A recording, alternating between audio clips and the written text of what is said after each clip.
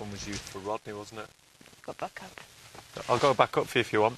Ah, it's cool. You sure? Yeah, thank you though.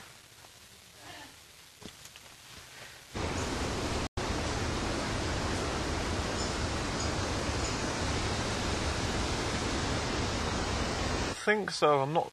I'm not.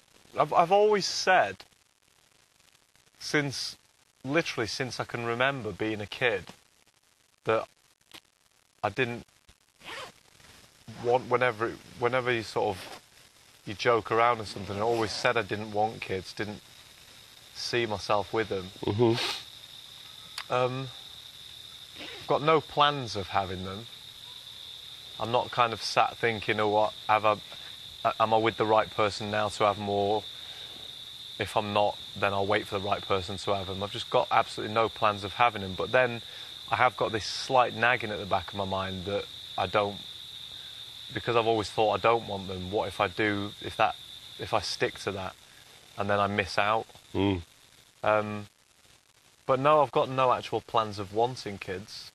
Because you'd make a marvellous father.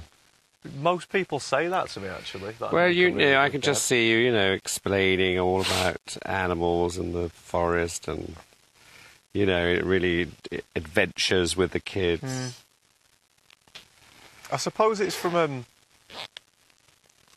not a selfish point of view because it, it's it's kind of the opposite because I don't want to be selfish. I, is one of the reasons I don't want to have them because I'm such a like I don't know what I'm. I have no plans even Mm. sort of a week in advance, and I like the the sort of idea that I can if ever I want to just go off and do whatever I want to do, uh, like circumstances permitted. Yes. And so I think if I've got kids, I would be there. I'd, I'd be one of those fathers who was there all the time for Yeah. them. Yeah. And so I've just got so much stuff I want to go off and do myself yet. Exactly. I mean, I think there's. I, I'm not. You know, I think it's a very. You know, I certainly don't want kids. Yeah.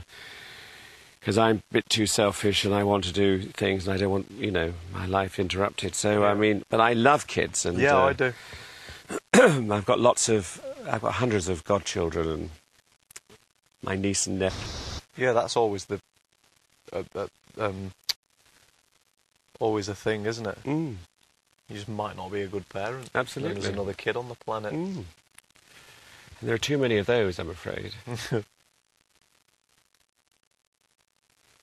Nearly, um, not nearly had one, but there was a point when basically, um, not planned for, there was a pregnancy, and then um, it was lost basically a few months into it, and um, when I was told, Were you having a serious relationship with this Yeah. girl? Yeah. when I was told, I was. Um, it wasn't that long ago, and when I was told, I was. I was kind of uh, getting myself ready for it and reacted really well, and started getting my head around it. Started buying books about it. Started like went and saw my family. Told them they were all ecstatic, and if they've always known or thought that I've because I've said I don't want kids, they were over the moon about it, and I really started getting my head around it um, and then kind of there was like a miscarriage. So I know that if ever it does happen, or I know that there is something inside, and the thought of it, I remember flying out to tell my mum because my mum was still living in Spain. My mum and sister were still living in Spain, and because I take books whenever I travel anywhere, and all I took was two sort of books I'd bought, like baby books. And I remember being on the plane and actually getting this sort of real sort of welling up of real, real, real excitement and thinking this actually could be pretty amazing. Mm. Um, and yeah, my head totally flips into the mode of wow, this could actually be really, really amazing. Um, but then whatever happened, happened.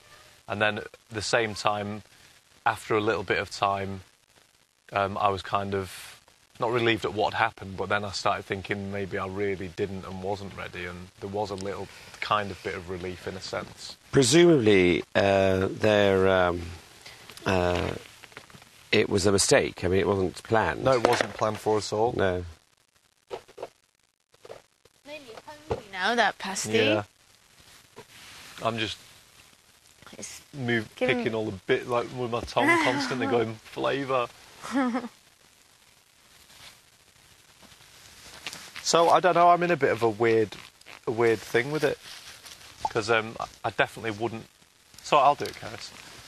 I'm going to scoop up some of the ash out. Actually, um, I couldn't ever still. I used to say absolutely categorically no, Mm. but now I can't say that.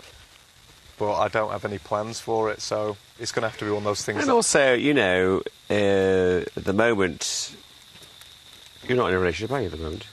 yeah. You are in a relationship at the Yeah. moment. Oh,